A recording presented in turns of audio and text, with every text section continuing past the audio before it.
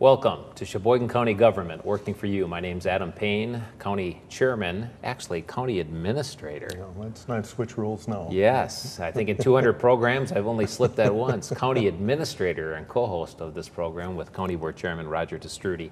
And today we're very pleased to have Laura Henning Lorenz with us, our County Treasurer. Welcome, Laura. Thank you for having me.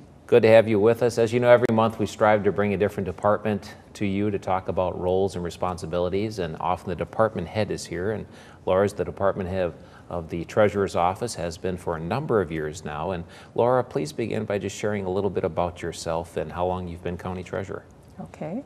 Well, I took my oath of office in January of 2003, so yes, I have been with the county for a few years.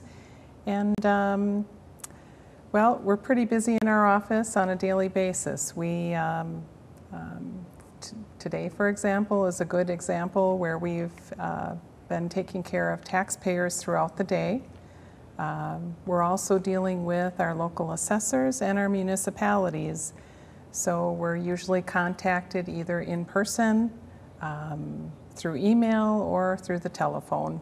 Now, you took oath of office in 2003, you said. Yes, I did. So it's been well over 10 years. Yes. And I know prior to that, you had some experience in our finance department. I did. So you've just got excellent background working in Sheboygan County.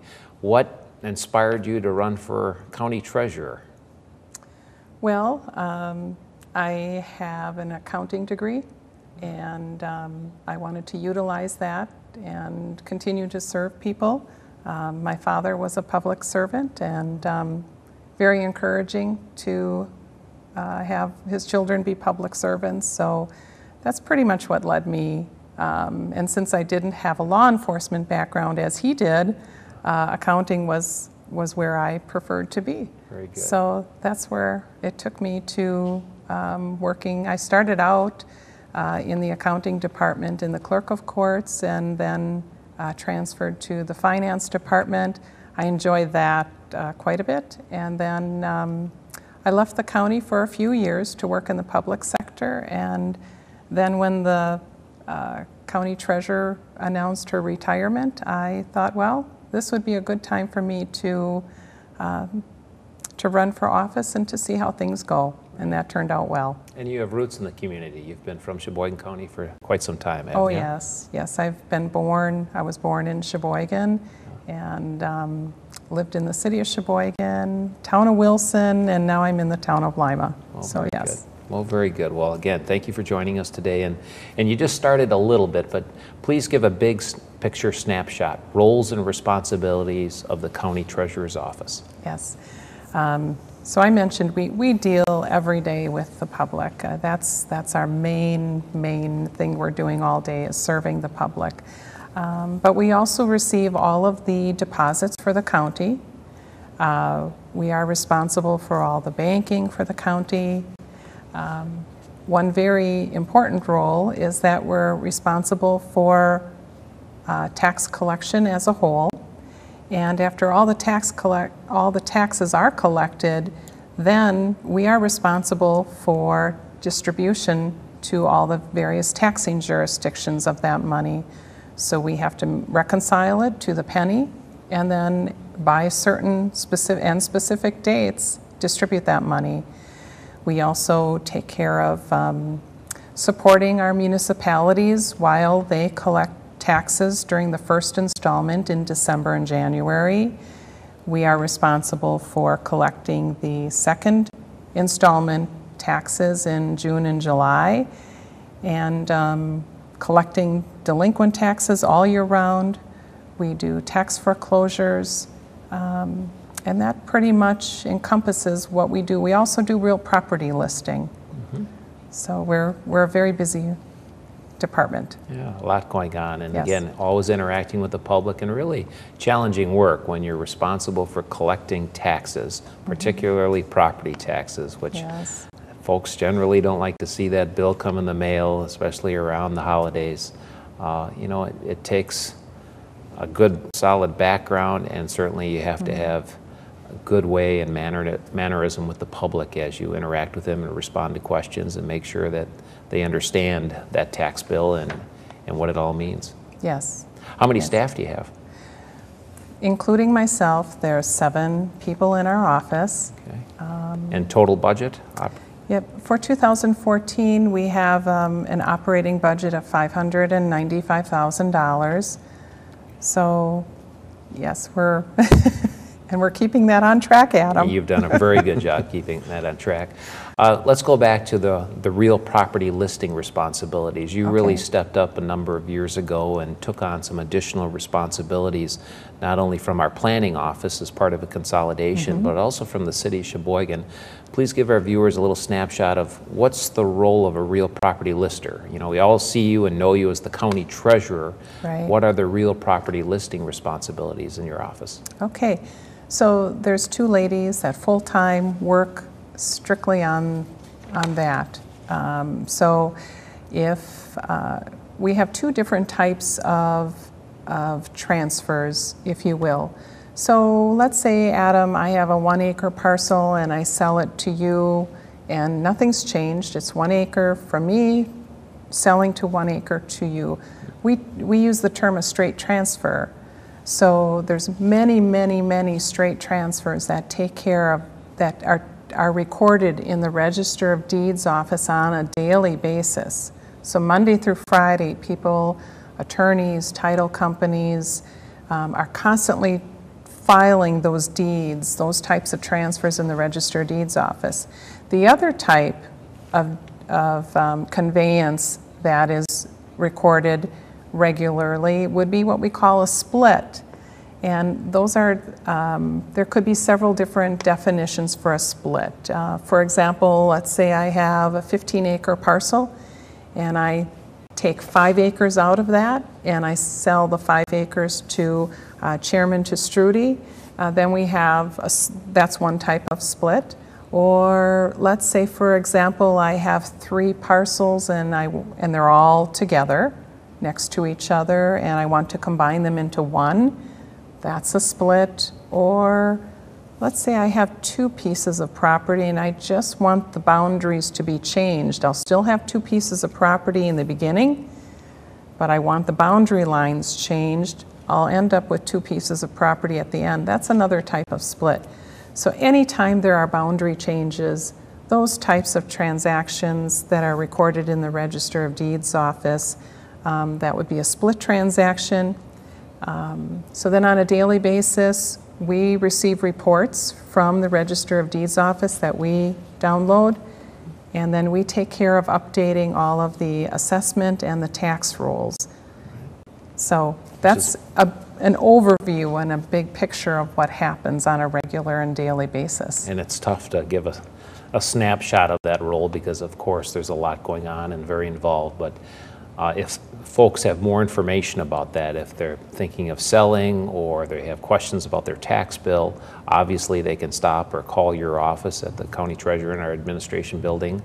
Uh, Right in the administration building is the Register of Deeds, as you said, Yes. as well as our Planning and Conservation Department, and all have roles with uh, recording legal descriptions and providing maps and information. So a lot of good people to help folks out there.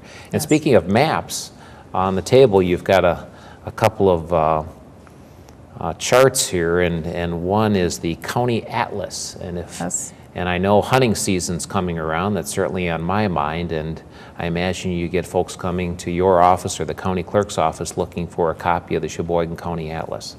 Yes, we have an atlas, and I'm glad you termed it that way because some people refer to it as a plat, and there are plat maps in this uh, document. However, it also contains um, road maps, highway maps, um, there's lake maps in there if you do fishing, um, and the lake maps have the depths of the various lakes in Sheboygan County. So it is um, a group of all different types of good information. And yes, it is for sale, um, and it is a 2012 um, version. And hopefully in the next year or two, we'll have a new version out. Generally, But we update it every two to four years. Yes. Yeah, very good. Yes. All right, thank you, Laura. I'll turn it over to the county board chairman, Roger TeStroete. Thank you, Adam. Uh, Good to have you with us, Laura. Uh, You mentioned uh, the tax uh, collecting, and uh, that's your key responsibility. Before the, we prepare the tax bills in December, you have various credits that go on the bill. You, would you explain a little bit of that? Okay, so there are three different types of potential credits that a person may have on their tax bill. Uh, they may have a lottery and gaming credit. Uh, there's also a school tax credit and the first dollar credit. So there are three of them. And uh, your office certifies these lottery and gaming credits uh, for Sheboygan County too. And uh, sometimes there's some discussion on that. People are wondering about it. That would be part of your role also then. Yes.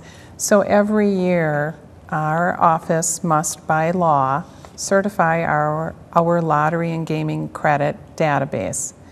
So um, what we do is we have 27 of our 28 municipalities uh, receive uh, their lottery credit data, and um, it basically tells them who is currently receiving a lottery credit and who may be suspect to receiving a lottery credit.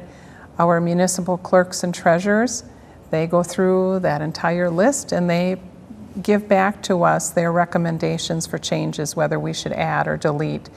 Uh, those folks are very knowledgeable as to what's going on in their communities, and um, they usually know, you know, if, if uh, property is vacant or if somebody is no longer living in a at a property.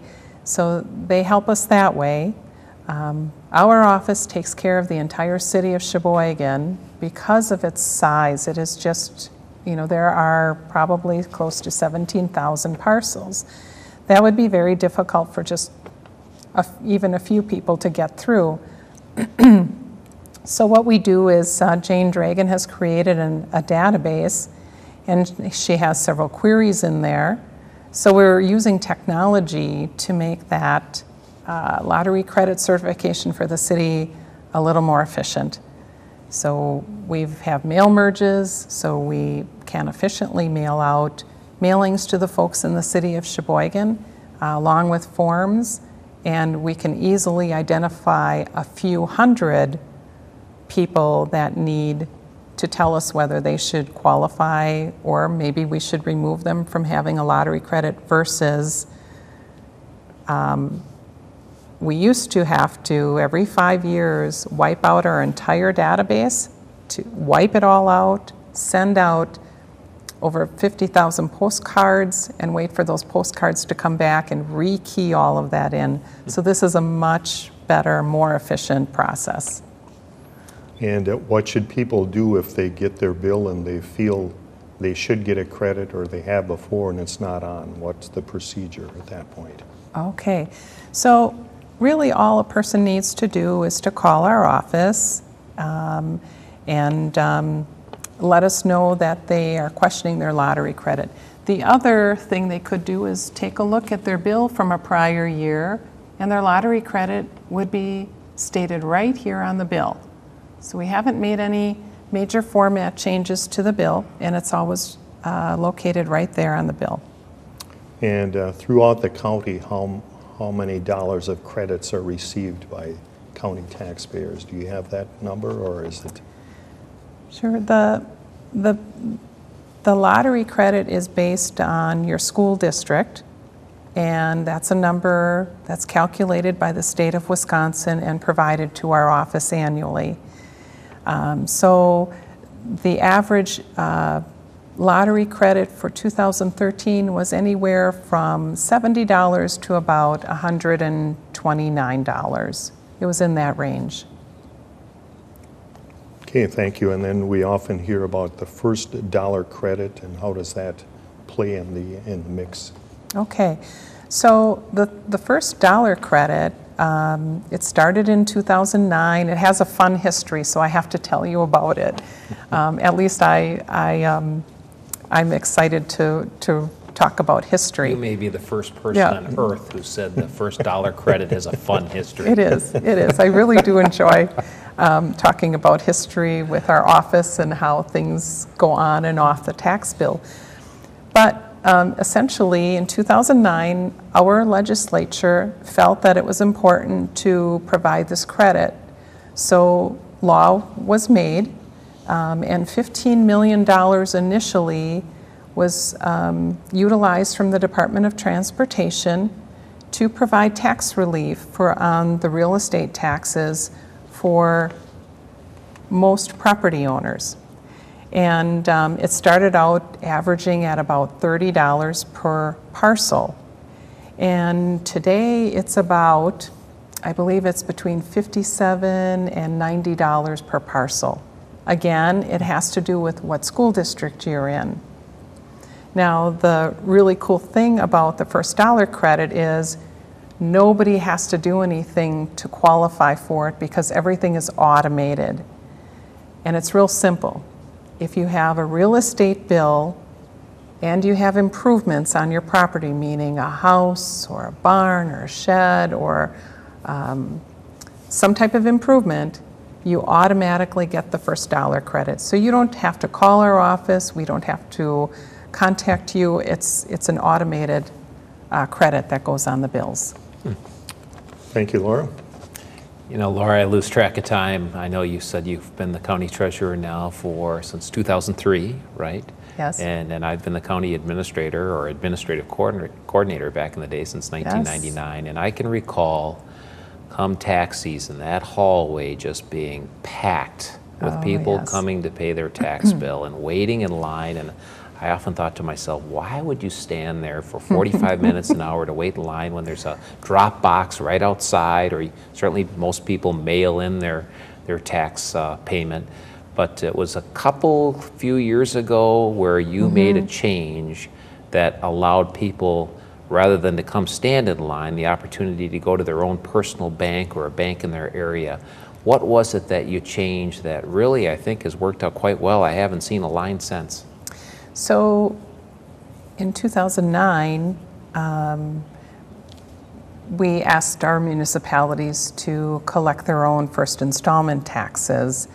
And by law, they are to do the first installment collection unless they have a contract or written agreement with a, a county. So all of our municipalities started collecting their own taxes, I believe, by 2009 and certainly by 2010. But the nice part about it is, um, and, and the nice part about being with peers is that you learn things. And I knew that other counties were utilizing their local banks to assist them with collecting taxes. So we started doing that when we started, uh, I believe, in 2010. And we started during a second installment collection, so that was completely, completely collected by our office. And we now have 13 local banks or bank branches that are assisting our office collecting second installment taxes. Uh, The other um, side of it is that our local municipalities, our towns, our villages, and our cities, they are also starting to utilize banks if they haven't already.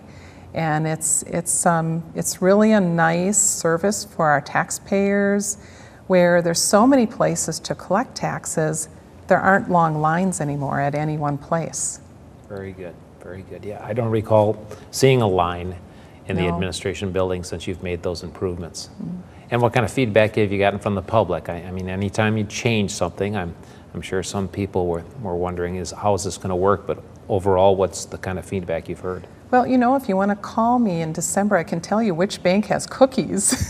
so, but in general, we have had a really, really good feedback about it. Good. There are so many other options too for paying your taxes that, um, and we list them on the tax bills now. That's a customized area in December, and um, if people just read that little section, our municipalities give us plenty of um, options for the taxpayers to utilize. And speaking of changes, I know that you're always looking to make improvements or garner efficiencies in your office. What else have you uh, recently improved or changed in the treasurer's office? Well, we've been, over years, and even this past year, we've been doing streamlining of a lot of our processes. We look at them, we say, you know, what can we do better here? What can we do quicker? What can we not do quicker? We can't do quicker, but what can we do better? And um, oftentimes, one of the things that takes us many, many months of work because we're working with our municipalities and the assessors is the, uh, working on the assessment roll for all 28 municipalities. That's one big change that we've made uh, as we've streamlined that process. It's a pretty slick process now internally. And we've done that with several other things lottery credit, uh, where we have the database now and we have technology that we're using. And you've, So- you've also taken a more active role with uh, property that has been foreclosed on, and I know your office has always had a role in that, but what I've observed the last few years in particular is you've been far more proactive in getting out there and making sure there's signage that says this property is available, contact the county treasurer's office. What have you done to improve that process and make sure that if there unfortunately is a property that's been foreclosed upon or someone has just passed away and there's no heirs, how do we make sure that we make people aware of that and help them through that transaction? Well, to start with, when we are going through the process of tax foreclosure, uh, one of the things that happens that's a protection to our taxpayers is the court uh, in Sheboygan County uh, appoints a guardian ad litem. And that generally attorney, that attorney will contact every single person on the list and will make sure that they are competent, um, make sure that they are not active military, and um, there might be some other, a few other criteria that they make sure. And then they do have conversation with the taxpayer. Um, and sometimes we found out that the taxpayer may be afraid or a little hesitant of contacting us. Once they talk to the guardian ad litem and the guardian ad litem assures them that, you know, we're here to help them too, we usually hear from them shortly thereafter. So we, we work with um, many different entities to try to help them, whether it's Health and Human Services or Consumer Credit Counseling, and perhaps it's even their bank um, where they have their mortgage. But we work with the people, we try to get as many properties off the list as possible. Once we do take a property over, yes, we do try to market it. Um, we try to sell it uh, for the best price possible. But our main goal is to get these properties uh, producing tax bills again and back on the tax rolls. So, yes, we, we are trying to keep the number of, of uh, foreclosed property in, that's in our inventory at a minimum. And recouping past due taxes that are owed to the county and we may have had to allocate to other municipalities or for other purposes. And of course, we rely on that revenue to pay the bills, so that's Yes. part of it as well. Yes. Yeah, well, you've done a nice job with that. I, I had uh, close friends from the Plymouth area that were looking at a home and were seeking some advice on a foreclosure and a possible home that might be for sale through foreclosure, and they didn't know where to turn or how to handle that, and was new to them, and they called me and asked for some guidance, and I called Laura, and Laura just did an excellent job walking them through the process, giving them some helpful uh, things to think about throughout the process, and I know to this day they're very appreciative of that, so thank you, Laura. You're welcome. Only have a few minutes left here, but long-term goals. What are you looking at long-term to further improve the service provided by the treasurer's office? Well, I do enjoy streamlining and making things more efficient. Um, one big, big project that uh, we're kicking off, and I've had conversation again recently with our IT department, would be new tax software. Um, tax meaning tax, assessment, real property listing, all in bundled in one software. So we're looking to do that. That's um, that would be a very, very big project and in need of a lot of time. And through that process, then we would continue to do more streamlining that we're looking forward to. Very good. Well, any uh, concluding thoughts or any uh, suggestions for taxpayers as we soon will be, have fall upon us and the tax season? Anything you wanted to share with our viewers? Well, we don't have any big or new changes at this time, which I think that will, rest assured, be good news to our taxpayers. Um, tax bills we're planning on having out again in December. Um, so nothing new or changing, I think is, a- is good news. Certainly, we want taxpayers to call our office, um, and they can call us um, at 45, actually, area code 920-459-3015. Um, Otherwise, they can certainly email us at uh, countytreasurer@sheboygancounty.com, and uh, we will attend to their email as well. And if you're looking for even more information, we have an excellent county website that not only provides information about Laura and the county treasurer's office, but all of our departments. And that's a good way to uh, tap in as well into county government and make sure that you could be heard or get information. So Laura, thank you for your nice overview today. We appreciate it. Thank you for having me. Speaking of tax bills and fall before us, it is the county budget process season. Every year we have an annual budget development process, and Chairman TeStroete, the executive, the finance committee have a major role in establishing a goal. We ultimately establish individual targets for all of our departments. And our track record really in this county has been second to none. Uh, the county board and all of our department heads have done such a good job working collaboratively with our budget process.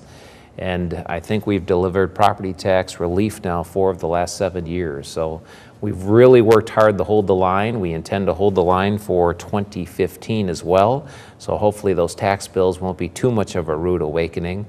Uh, we're looking to capture net new uh, cons- uh, construction, revenue assess- associated with net new construction, which will bring in up to maybe $280,000 countywide because we're looking at less than a 1% increase in net new construction. So that makes things challenging when you have a $127 million budget, 825 employees, and employees looking for a cost of living increase in that 1 2% range. Uh, we've got our work cut out for us. But next month, we'll have Terry Hansen, our finance director, here, and we're going to discuss a little bit of our budget process and where we're at and how it's looking. So until then, thank you so much for joining us. And if you have any questions, don't hesitate to contact Laura or certainly your county board supervisor, Chairman Roger TeStroete, or myself. Thanks for joining us.